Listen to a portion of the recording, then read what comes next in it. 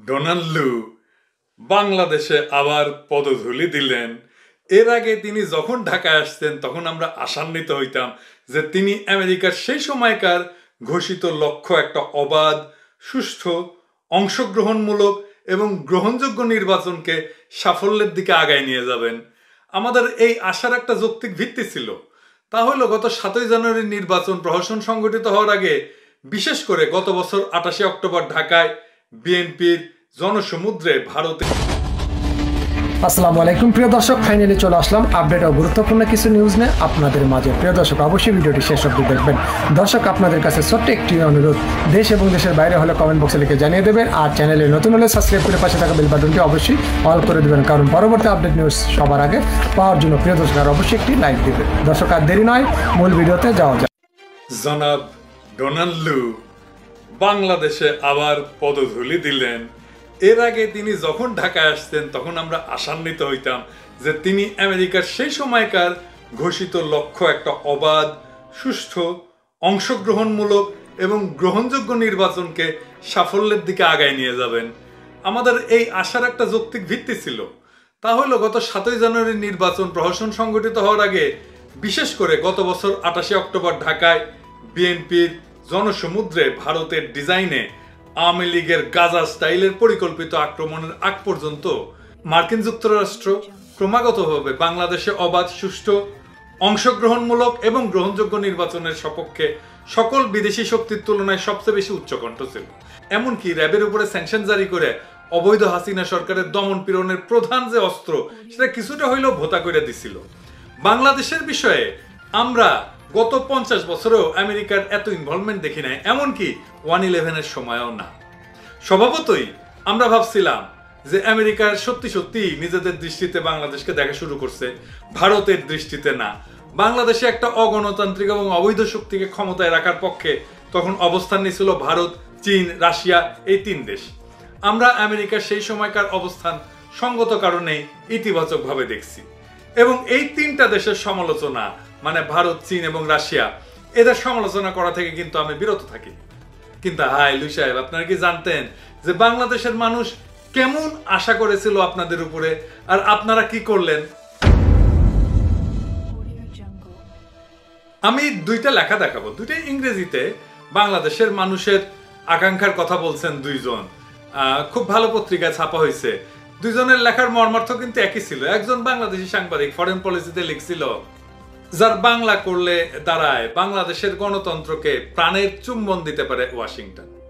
ডিপ্লোম্যাটে লিখলো আর এক ভদ্রলোক, বাংলাদেশিরা তাদের গণতন্ত্র উদ্ধারের জন্য আমেরিকার দিকে তাকিয়ে আছে। তো লু সাহেব, আপনি তো ভালো করেই জানেন, আমেরিকার প্রতি ইতিবাচক মনোভাব আমাদের দেশের কোটি কোটি জনতার সঙ্গে আমি নিজেও শেয়ার করছি। এইটা শেয়ার করার উদ্দেশ্য এটা না যে আমি বা আমরা আপনাদের কাছে কোনো অনুগ্রহ লাভের জন্য হাত পাচ্ছি কারও কাছে হাত পাতার অভ্যাস আমাদের নাই। বাংলাদেশিরা কারও কাছে হাত পাতি না। আমরা যা করি, তা বিবেকের ধারণা এবং প্রিয় মাটি এবং মানুষের প্রতি গভীর এবং তীব্র ভালোবাসা থেকে করি। এই কথাটা আগে ভাগেই জানায় রাখা ভালো। এই কারণে যে আমার কিছু কথা আপনার অপছন্দ হইলে এটা যেন মনে না করেন যে অন্য কোনো শক্তির অনুগ্রহ লাভের জন্য আমি এটা করতেছি। আমরা সেই সময় মনে করছিলাম যে জনগণের ক্ষমতা যদি জনগণের হাতে ফিরে আসে, তাহলে ভারত আমাদের স্বাধীনতা, সার্বভৌমত্ব, আঞ্চলিক অখণ্ডতা এবং জাতীয় মর্যাদার যে ক্ষতি করছে, তা আমরা উল্টাই দিতে পারব। আর ভারতের হাতে বাংলাদেশকে তুলে দিছিলেন আপনারাই ওয়ান ইলেভেন ঘটায়। আমরা ভাবছিলাম আপনারা সে পাপের কাফারা দিতে আসছেন। তাই বাংলাদেশে গণতন্ত্রের পুনরুজ্জীবনের প্রতি আপনাদের সমর্থন আমাদেরকে তখন নিশ্চিতভাবে উৎসাহ যোগাইছিল। কিন্তু আপনারা, আপনার দেশ, আমেরিকা কথা রাখে নাই। এইটা কেবল আমারই কথা না, ঢাকায় নিযুক্ত আমেরিকার সাবেক উপরাষ্ট্রদূত মিস্টার জন ড্যানিলোভিস কঠোর ভাষায় বাংলাদেশের নির্বাচন প্রসঙ্গে বাইডেন প্রশাসনের পশ্চাৎপসরণের সমালোচনা করেছিলেন। শুধু তাই না, ভারতের উচ্চ পর্যায়ের ব্যক্তিরা আমেরিকাকে উপহাস করে বলছেন যে বাংলাদেশ থেকে তারা ওয়াশিংটনকে গুতা দিয়ে বের করে দিছে। রাষ্ট্রদূত পিতার হাত থেকে পালায় যাচ্ছেন যে ভারতকে ডোনাল্ডু ইন্দো প্যাসিফিক অঞ্চলের নেতা বলে বর্ণনা করছেন, সেই ভারতই কিনা ছাপ্পান্ন ইঞ্চি সিনা ফুলায় বলে, আমেরিকা আবার কেডা? সুতরাং, মিস্টার লু, এবার আসছেন এমন একটা সময় যখন বাংলাদেশের মানুষের কাছে আমেরিকার ভাবমূর্তি বা ইমেজ শূন্য। তো আপনি নিজেই বলেন, এইরকম একটা অবস্থায় যেই দেশের মানুষ আপনার সামর্থ্যকে ফুটা পয়সাও দাম দেয় না। সেই দেশের মানুষ আপনার উপরে ভরসা করবে কীভাবে? আর ইন্ডিয়ার রিয়াকশন দেখে বাংলাদেশিদের মনে যদি ধারণা হয়, আমেরিকা এমন একটা শক্তি যাকে এমনকি ভারতও দাবড়ায় দিতে পারে, তাইলে কি বাংলাদেশের মানুষ কোনো বিরাট ভুল করবে? আজ এই মুহূর্তে এমন একটা অবস্থা আমরা দেখতে পাচ্ছি যে আমেরিকার নিকটতম মিত্ররাও আমেরিকার কথা শোনে না। আমেরিকা তার রাষ্ট্রপতিকে নিয়ে তাদের নেতারা ঠাট্টা বিদ্রুপ করে। সাতই জানুয়ারি নির্বাচন নামের প্রহসনের পরে এখন প্রশ্নাতীতভাবে পরিষ্কার যে ভারত নিজের হীনস্বার্থ আগায় নেওয়ার জন্য বাংলাদেশের গণতন্ত্রকে টুটি চাইপা মারছে। বাংলাদেশের জনগণ যাতে দেশের প্রকৃত ক্ষমতা আবার নিজের হাতে নিতে না পারে, তার সকল বন্দোবস্ত করছে ভারত। আর ভারতের উদ্দেশ্যই হচ্ছে এই প্রক্রিয়ায় একটা কৃতদাসমূলক সরকার ঢাকার ক্ষমতায় বসায়, বাংলাদেশের স্বাধীনতা সার্বভৌমত্ব এবং আঞ্চলিক অখণ্ডতার চূড়ান্ত সর্বনাশ করা। স্বাধীনতা, সার্বভৌমত্ব এবং আঞ্চলিক অখণ্ডতা এবং জাতীয় মর্যাদা ফিরে পাওয়াটাই হচ্ছে আমাদের এখনকার একমাত্র লক্ষ্য। আমাদের এইবারের সংগ্রাম, তাই ভারতকে বাংলাদেশ থেকে তাড়ায় দেওয়ার সংগ্রাম। ভারতকে যদি আমরা ঘাড় ধাক্কা দিয়ে বের করে দিতে পারি, তার আধিপত্যবাদের কালো হাত যদি আমরা ভেঙে টুকরা টুকরা করে দিতে পারি, তাহলেই কেবল আমরা আমাদের স্বাধীনতা, সার্বভৌমত্ব, আঞ্চলিক অখণ্ডতা, জাতীয় মর্যাদা ফিরে পেতে সক্ষম হব। এই সংগ্রামের বিজয় লাভের পর আমরা জনগণের সকল অধিকারও ফিরে পাব আমরা জানি যত সময় লাগুক না কেন, এই সংগ্রামে আমাদের জনগণ নিজস্ব শক্তিতেই বিজয়ী হবেই হবে। এই উদ্দেশ্য সাধনে আমাদেরকে, আমাদের স্বার্থকে পূর্ণ স্বীকৃতি দিয়ে যে সমস্ত বিদেশি শক্তি বা শক্তিগুলো সাহায্য করবে, তাদের সাথেই আমরা ডিল করব নেগোশিয়েট করব। তো আমাদের এই পথ কে আমেরিকা পছন্দ করবে। মিস্টার লু সাহেব, আমাদের এই অ্যাপ্রোচে তো আপনাদের অখুশি হওয়ার কথা না। এটা তো আপনারই নিজস্ব ফর্মুলা মালদ্বীপ থেকে যখন প্রেসিডেন্ট মুইজু ইন্ডিয়া খেদায় দিল তখন চীনের সাথে সামরিক চুক্তি সহ বেশ কয়েকটা চুক্তি সম্পাদক করল, তখন আপনি কি বলছিলেন? যে মালদ্বীপের উচিত ভারতকে ইনভলভ করা, যাতে করে দেশটি সকল পক্ষ থেকে সবচেয়ে ভালো ডিল পায়, তাই না? আপনারা যখন আমাদেরকে এভাবে পথে বাসায় ইন্ডিয়াদের ভাষায় ভাইগে গেলেন তখন জাতি হিসাবে নিজেদের রক্ষার জন্য তো সর্বোত্তম ভালো ডিল খোঁজ করাটাই আপনার ফর্মুলা অনুযায়ী আমাদের কর্তব্য। আমরা এবার তাই করব। আমরা ধারণা করি এই অঞ্চলে চীনের প্রভাব ঠেকানো আমেরিকার ইন্দো প্যাসিফিক নীতির অন্যতম অঘোষিত লক্ষ্য। কিন্তু মিস্টার লু, ভুলে যাবেন না যে লক্ষ্য অর্জনে আপনাদের একটা বড় আদর্শগত মূল্যবোধগত একটা দিক ছিল গণতন্ত্র, মানবাধিকার। বাংলাদেশে সেটা মাঠে মারা গেছে। ভারতের পরিচালনা এবং প্রযোজনায় বাংলাদেশে গণতন্ত্রের অপমৃত্যু ঘটছে। গত নির্বাচনে যদি আমরা গণতন্ত্রকে পুনরুজ্জীবিত করতে পারতাম, তাহলে এদেশে আমরা মানবাধিকার, জবাবদিহিতা এবং সুশাসন প্রতিষ্ঠার একটা বড় সুযোগ পাইতাম। আপনারা যে কারণেই হোক গণতন্ত্র প্রতিষ্ঠার সপক্ষে শেষ পর্যন্ত দাঁড়াইতে পারেন নাই। আমাদেরকে গাছে উঠে মইটা নিয়ে গেছে। কাওয়া ঠিকই কইছিল, তলে তলে সব ঠিক হয়ে গেছে। আপনারা তলে তলেই সব ঠিক করেন। এখন এই পনেরো বছর ধরে চলে আসা স্বৈর শাসন যা ফ্যাসিবাতে রূপান্তরিত হয়েছে এবং আমাদের গণতন্ত্রহীনতা আমাদের দেশের অস্তিত্ব নিয়ে টান দিছে। দেশের অস্তিত্ব রক্ষায় এখন আমাদের জীবন মরণের সংগ্রাম। এই সংগ্রামে আমরা চীনও বুঝি না, আমেরিকাও বুঝি না। আমরা বুঝি আমাদের স্বাধীনতা, সার্বভৌমত্ব, আঞ্চলিক অখণ্ডতা, জাতীয় মর্যাদা পুনরুদ্ধার করা আর গণতন্ত্র পুনরুদ্ধার করা।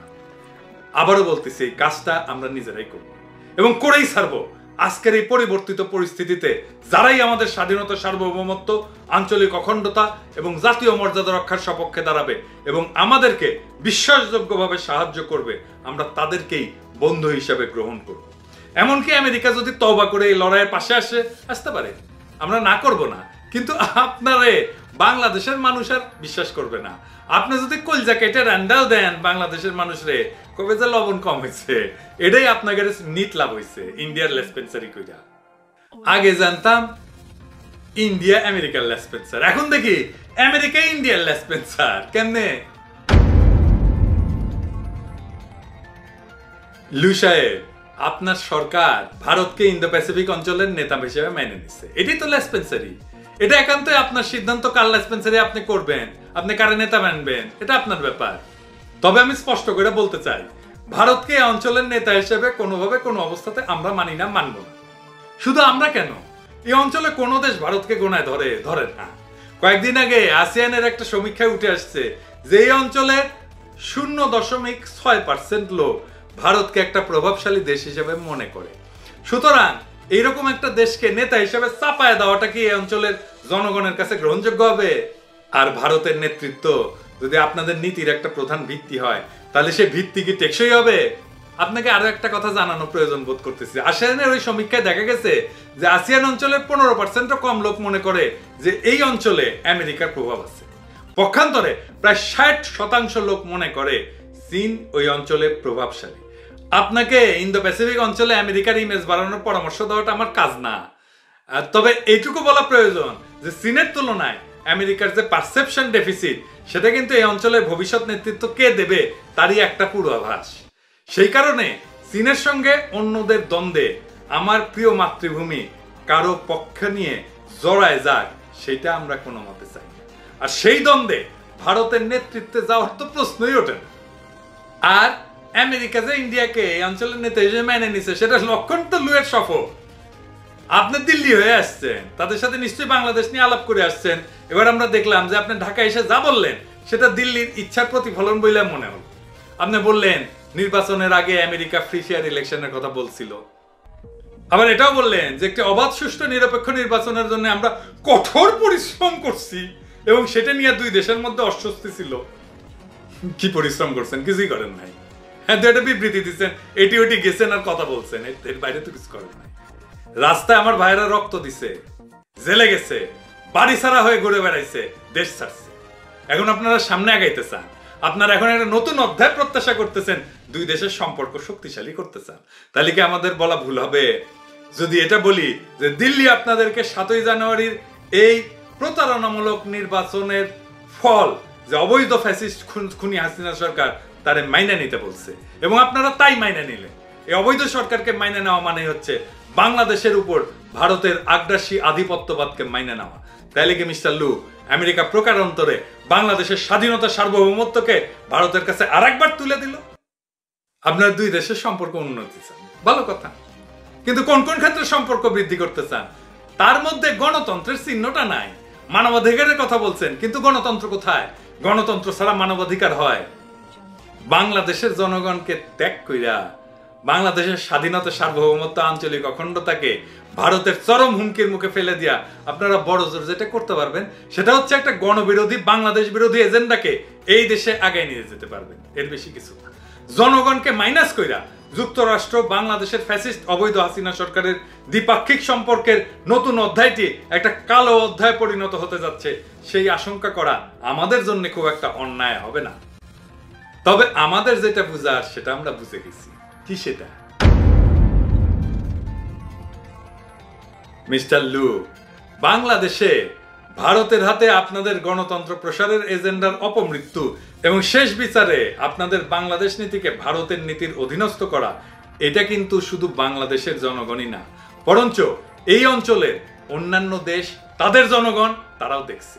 ভারতের দাবরানি খেয়া ঢাকার নিযুক্ত আমেরিকান রাষ্ট্রদূত পালায় যাচ্ছে এই দৃশ্যকল্পটা আপনাদের ইন্দো প্যাসিফিক স্ট্র্যাটেজি আগায় নেওয়ার ক্ষেত্রে সাহায্য তো করবেই না, বরং উল্টা ফল দিবে। আপনি ঢাকা এসে আরও বললেন, অস্বস্তিকর ইস্যুগুলো নিয়ে আপনারা বাংলাদেশের অবৈধ সরকারের সঙ্গে আলোচনা অব্যাহত রাখবেন। এর সোজা সপ্তাহ অর্থ আছে। ডিপ্লোম্যাটিক ভাষায় কইছেন তো, আমি কয়ে দিই সবাইকে। এটা হলো হাসিনা গংকে চাপে রাখবেন। কেন চাপে রাখবেন? এটা পসিবল কারণ হইতে পারে যে সে যাতে চীনের সাথে অতিরিক্ত মাখামাখি না করে। চীনের সাথে যে পাঁচ বিলিয়ন ডলার ঋণ নেবে বলে ঘোষণা দিছে, সেটাকে কাউন্টার করার জন্য আপনারা হয়তো বিশ্ব bank IMF ADB JICA, European Union ইত্যাদির কাছ থেকে চাঁদা টাদা তুলিয়া এই হাসিনা রিজার্ভকে কিছুকালের জন্য হইলেও ঠেকা দিবেন। কিন্তু এতে অর্থনীতির রক্তক্ষরণ বন্ধ হবে না, বরঞ্চ বিভিন্ন কঠিন শর্তের চালে বাংলাদেশের মানুষের নাভিশ্বাস উঠে যাবে। জনগণকে বাদ দিয়া, তাদের কষ্ট দিয়া, তাদের বিপক্ষে ঠেলে দিয়া কেউ কখনো জিততে পারে ইতিহাস তাই বলে। আপনারা আফগানিস্তানে সোভিয়েত ইউনিয়নের আগ্রাসনের বিরুদ্ধে আফগানদের সঙ্গে নিছিলেন। এর ফলে সোভিয়েত ইউনিয়নকে তাড়াই দিতে সক্ষম হয়েছিলেন। এই একই আফগানিস্তানে আপনারা জনবিচ্ছিন্ন একটা তাবেদার সরকারকে ক্ষমতায় বসাইলেন, তালিবানদের সরাই দিয়া। বিশ বছর তিন ট্রিলিয়ন ডলার খরচ করলেন, হাজার হাজার মানুষকে হত্যা করলেন, জখম করলেন। আপনার নিজের দেশের লোকেরাও মারা গেল, সৈনিকরা মারা গেল, আহত হইল, পঙ্গু হইল। শেষমেশ এই তালেবানের হাতে ক্ষমতা ছেড়ে দিয়া নিদারুণ, গ্লানিকর অবস্থায় কাবুল ত্যাগ করল আরও অনেক আগে আমাদের আগের জেনারেশনের সময় ভিয়েতনামে একই অবস্থা হয়েছিল। জনগণের আস্থা না থাকলে কি হয় তার অভিজ্ঞতা নিকট অতীতে আপনাদের কাছেই আছে। এক যাত্রায় ভিন্ন ফল তার আশা করতে পারেন না। আপনারা যদি মনে করেন ভারতকে নেতা মাইনে নিয়ে তাকে চীনের বিরুদ্ধে সহজে লেলাই দিতে পারবেন এবং সেই কর্মে ভারতের স্যাটেলাইট হিসেবে বাংলাদেশকে জুড়ে দেওয়া যাবে, তাহলে বলব আপনারা ভুল চিন্তা করতেছেন। ভারত কি করবে, না করবে, সেটা তার ব্যাপার। কিন্তু অন্য কোনো দেশের প্ররোচনায়, কোনো অবস্থাতেই আমরা একটা ঠান্ডা যুদ্ধে যোগ দেব না। কারও প্রক্সি যুদ্ধের কামানের গোলার খোরাক হব না।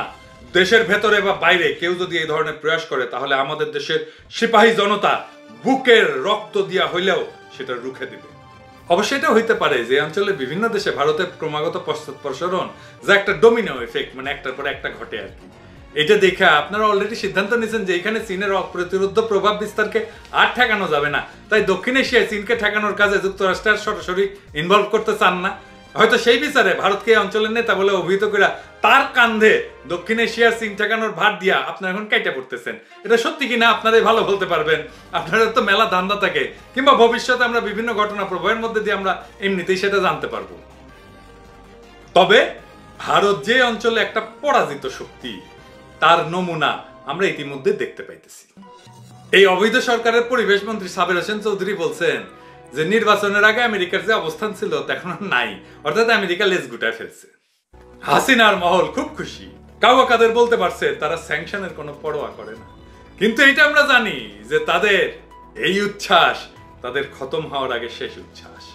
আমরা খুবই আনন্দিত এবং গর্বিত বোধ করছি যে, বাংলাদেশের সবচেয়ে জনপ্রিয় দল বিএনপি খোলাখুলি ভাবে বলে দিছে, আপনাদের সফরে তাদের কোনো আগ্রহ নেই। এটাই হইল খাঁটি দেশপ্রেমিক অবস্থান। সুতরাং বুঝতেই পারতেছেন মিস্টার লু, বাংলাদেশে আপনার মেয়াদে আমেরিকার নীতির জনপ্রিয়তা পর্বত শৃঙ্গ থেকে গিরি খাদে পতিত হয়েছে এইবার আমেরিকার কাছে বার্তা কি আমাদের? মিস্টার লু আপনার সরকারের মেয়াদও শীঘ্রই শেষ হয়ে আসতেছে। মাস ছয়েক পরে আপনাদের দেশে নতুন রাষ্ট্রপতি নির্বাচন হবে। বর্তমান রাষ্ট্রপতি মিস্টার বাইডেন আদৌ জয়লাভ করবেন কিনা, সেটা নিয়ে নানা ধরনের সন্দেহ টন্দেহ আছে। আগামী ছয় মাসে আপনারা নতুন করে কোনো উদ্যোগ নিতে পারবেন বলে মনে হয় না। কারণ সাধারণত একটা লেম ডাক সরকার মানে যে সরকার শীঘ্রই মেয়াদ উত্তীর্ণ হইতে যাচ্ছে, তার পক্ষে নতুন কোনো নীতি সংক্রান্ত উদ্যোগ নেওয়া সম্ভব হয় না। সুতরাং আপনি ঢাকায় এসে যেটা বলে গেলেন, তাতে আমরা কি ধরে নিতে পারি না যে আগামী মাসগুলোতে আমেরিকার বাংলাদেশ নীতির প্রধান দিক হচ্ছে এদেশের উপর ভারতের একচ্ছত্র খবরদারি মাইনা নেওয়া এবং সমর্থন করা। মিস্টার লু, আপনাদের নীতির বা নীতির অভাব আপনারাই ভাবেন। আমাদের কাজ আমরা কইরা যাব, আমাদের জনগণের নিজস্ব শক্তিতে আমরা সেটা করে যাব। আমরা মনে করি যে ভারতকে আপনারা ইন্দো প্যাসিফিক অঞ্চলের নেতা বইলে মেনে নিছেন, সেই ভারত আমাদের প্রিয় মাতৃভূমি বাংলাদেশের স্বাধীনতা, সার্বভৌমত্ব, আঞ্চলিক অখণ্ডতা, জাতীয় মর্যাদা এবং গণতান্ত্রিক ভবিষ্যতের প্রতি সবচেয়ে বড় হুমকি। এই হুমকি সাফল্যের সাথে মোকাবেলা করতে না পারলে আমাদেরকে এবং আমাদের ভবিষ্যৎ প্রজন্মদেরকে যুগের পর যুগ ভারতের গোলাম হিসেবে বেঁচে থাকতে হবে। এই বাঁচা মৃত্যুর চাইতেও ভয়ঙ্কর। আমরা কোনো অবস্থাতেই সেটা মাইনা নেব না। আপনারা যাই ভাবেন না কেন, যাই করেন না কেন ভারতের ঘৃণ্য আধিপত্যবাদের বিরুদ্ধে আমাদের সংগ্রাম আমরা শুরু করে দিছি। আপনি হয়তো নিজেই দেখে গেছেন যে আমাদের এই আন্দোলনের প্রথম পর্ব, অর্থাৎ ভারতীয় পণ্য বর্জন কত দ্রুত দাবানলের মতো সারা দেশে এবং সকল প্রবাসী মহলে ছড়ায় গেছে। আমরা মাত্র সাড়ে চার মাস ভারতীয় পণ্য বয়কট করছি। ভারত থেকে আমদানি দেড় বিলিয়ন ডলার কমাই দিতে পারছি, দশ পার্সেন্টের মতো প্রায়। মাত্র সাড়ে চার মাস বাংলাদেশের মানুষ ঐক্যবদ্ধ হলে যে কোনো ফল নিয়ে আসতে পারে। এইটা তার প্রমাণ। আমরা জানি এই সংগ্রাম দীর্ঘ হবে। আমরা এর জন্য সম্পূর্ণভাবে প্রস্তুত। আমরা এটাও বুঝি যে আমাদের এই অঞ্চলে যে দ্রুত ভূ রাজনৈতিক পরিবর্তন হচ্ছে, তাতে করে আমাদের এই সংগ্রাম দীর্ঘ হইলেও অতি সুদীর্ঘ হবে না। শুধু বাংলাদেশেই না, আমাদের আন্দোলন ইতিমধ্যে শ্রীলঙ্কায় ছড়ায় পড়ছে। এই অঞ্চলের অন্যান্য দেশে সম্প্রতি ভারতের যেমন নির্লজ্জ পরাজয় ঘটছে, বাংলাদেশের পূর্ণভূমিতেও তারই পুনরাবৃত্তি ঘটবে। এটা নিউটনের গতিসূত্র অনুযায়ী হবে। যখন দুইটা শক্তির মধ্যে সংঘর্ষ হয়, ফলাফল যায় বড় শক্তির দিকে। এই অঞ্চলের বড় শক্তি ভারত না। এই অঞ্চলে ভারতের এক সেরের উপরে পাঁচ সের আছে। সুতরাং কালকে হোক, পরশু হোক, ভারত হারবেই। এই ভবিতব্য ইতিমধ্যেই লেখা হয়ে গেছে। আমাদের সংগ্রাম এই অঞ্চলে পলায়ন পর ভারতকে যত দ্রুত সম্ভব বাংলাদেশ থেকে তাড়ায় দেওয়ার সংগ্রাম। আমাদের সংগ্রাম ভারতের ঘৃণ্য নীল নকশা থেকে আমাদের পূর্ণ মাতৃভূমির স্বাধীনতার সার্বভৌমত্বকে এবং আঞ্চলিক অখণ্ডতাকে রক্ষা করা। আমাদের জনগণের জাতীয় মর্যাদা, গণতান্ত্রিক অধিকার পুনঃপ্রতিষ্ঠা করা। আর আমরা আমাদের বজ্রকঠিন সংগ্রামের মাধ্যমে এই দেশ থেকে ভারতের আধিপত্যবাদী কালো হাত টুকরা টুকরা না করে বাড়িতে ফিরবো না। মিস্টার লু, মাস ছয়েক পরে আমেরিকার প্রশাসনে আপনি থাকতেও পারেন, নাও থাকতে পারেন। তবে এটা জেনে রাখেন, এই মাসগুলাতে আমাদের সংগ্রাম তীব্র থেকে তীব্রতর হবে। আমাদের কাঙ্ক্ষিত বিজয়ের আরও কাছাকাছি আমরা পৌঁছে যাব।